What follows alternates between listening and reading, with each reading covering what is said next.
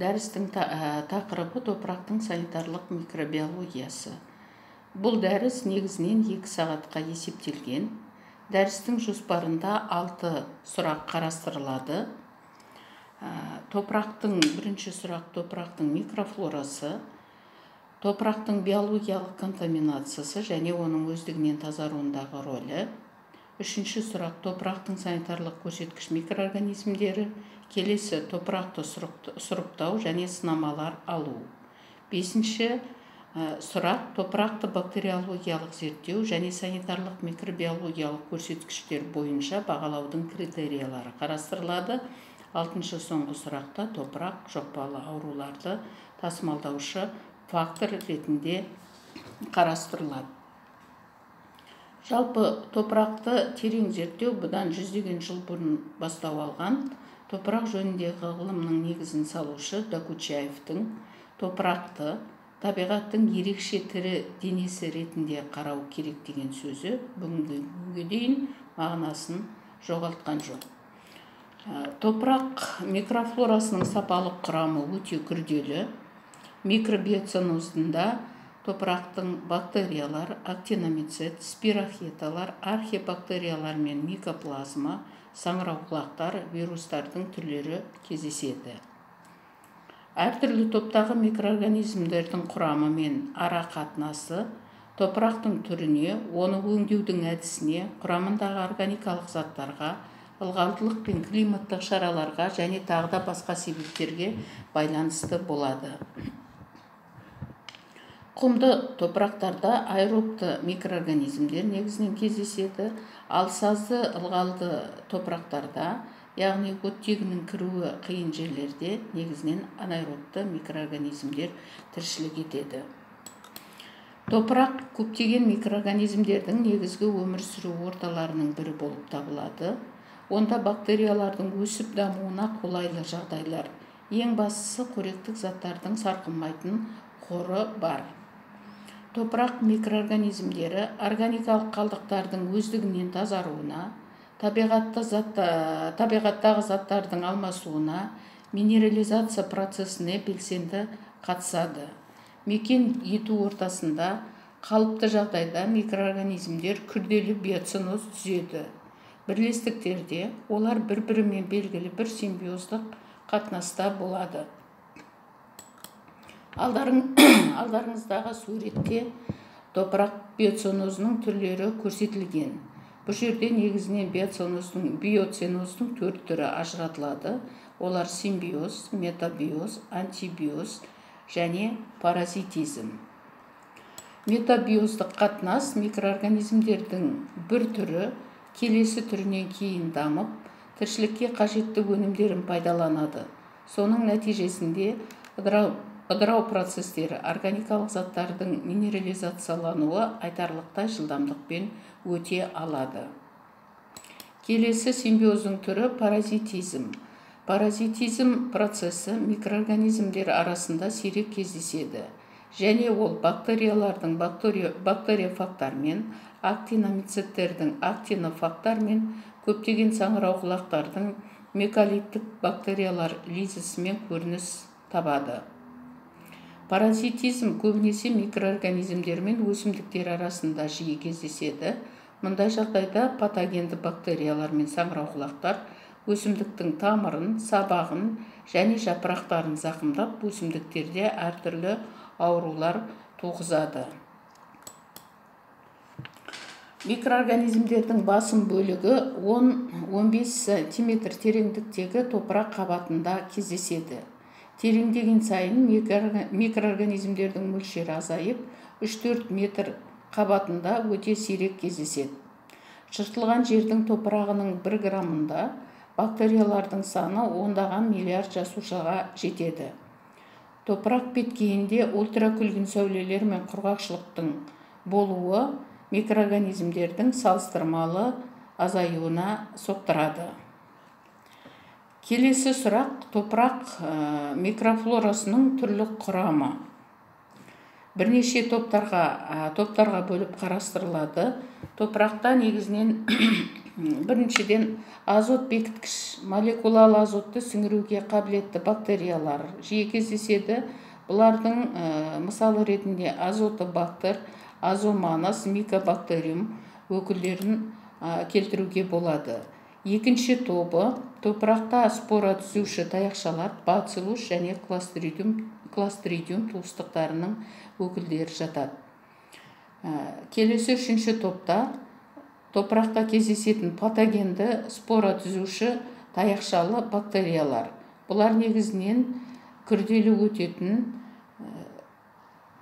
адамдарда және жануарларда кездесетін инфекциялық аурулардың қоздырғышы болып табылатын күйдіргі ботулизм сіріспе газды гангреналар қоздырғыштары бұлар топырақта ұзақ уақыт сақталады. Төртінші тобы аммонификациялаушы шерткіш бактериялар. Тобын құрайтын патогенді емес бациллалар мен псевдомонадалар. Топырақ микрофлорасының ішінде маңызды рөл атқаратындары ішек бактериялары оның ішінде энтеробактериация тұқымдастығының өкілдері ішек таяқшасы ішек сүзегі сальмонеллез дизентерия қоздырғыштары бұлар негізінен транзиттік сипатта кездеседі. Олар мұнда көбеюге қолайлы жағдай болмағандықтан біртіндеп жойылып отырады.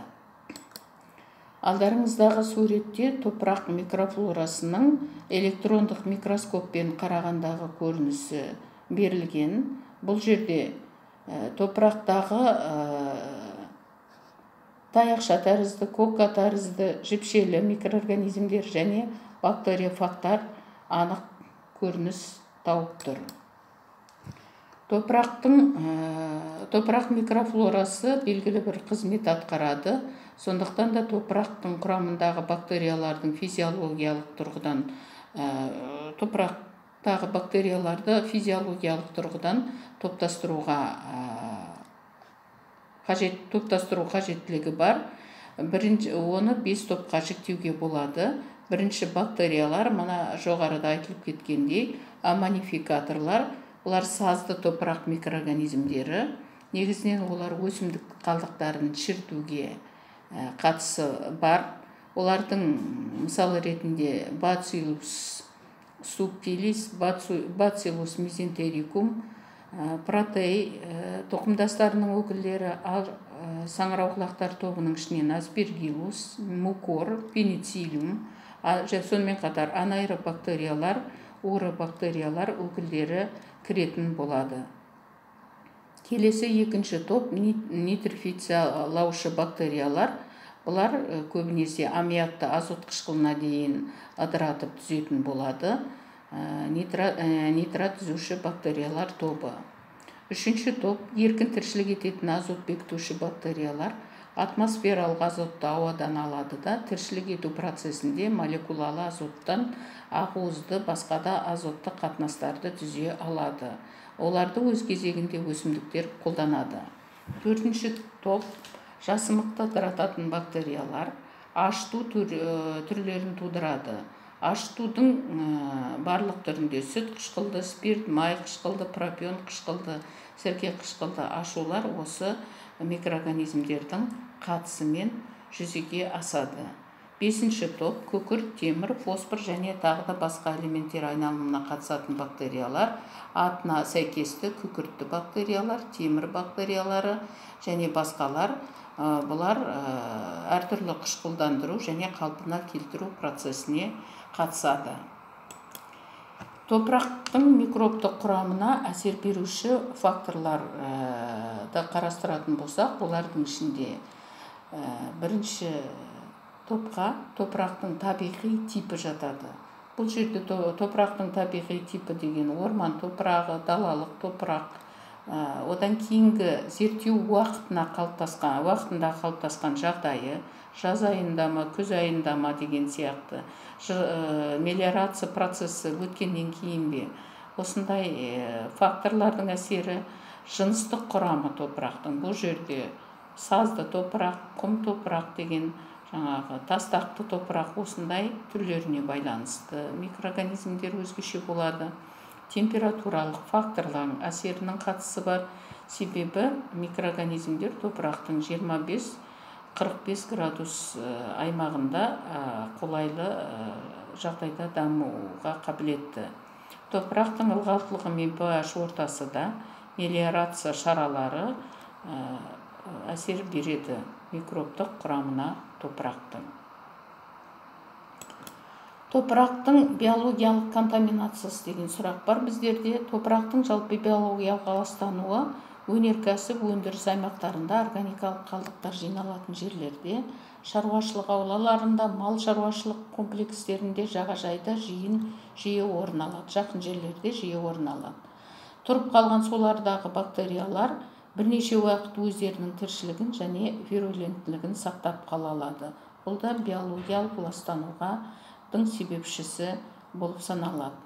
Ал адам мен жануарлардың әртүрлі қалдықтарының топыраққа үнемі үздіксіз түсіп отыруы биологиялық ластанудың негізгі себептерінің бірі. Мысалы адамның нәжісінде алпыстан астам түрлі микроорганизмдер анықталған. Олардың олар оншақты туыстыққа жатады. Ең көбі анаэробты микроорганизмдер 96 пайызға дейін. Бұлар шекте тіршілік ететін бифиді лактобактериялар пептококкалар ал аз көлемде шерихи энтерококктар протей кластридия кандидалардың өкілдері